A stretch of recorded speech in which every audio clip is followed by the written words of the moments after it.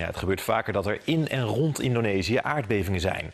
Het land ligt op de zogenoemde Ring van Vuur. Een gebied in de Grote Oceaan met veel vulkanen. Rond die Ring van Vuur komt zo'n 90% van alle aardbevingen voor. Ja, door de aardbeving van gisteren is ook een opvanghuis voor straatkinderen verwoest. De 14-jarige Lente werkt er een weekje als vrijwilliger. Lente was bij het opvanghuis op het moment van de aardbeving. Best heftig, ik kon bijna niet meer rennen.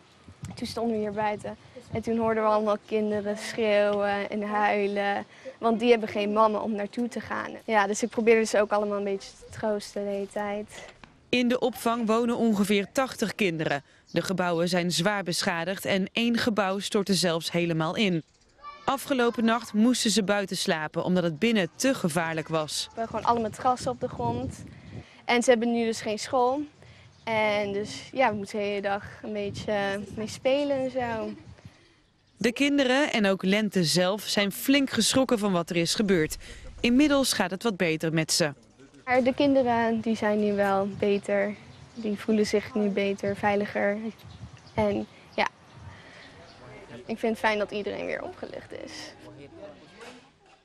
Ja, de eilanden van Indonesië zijn een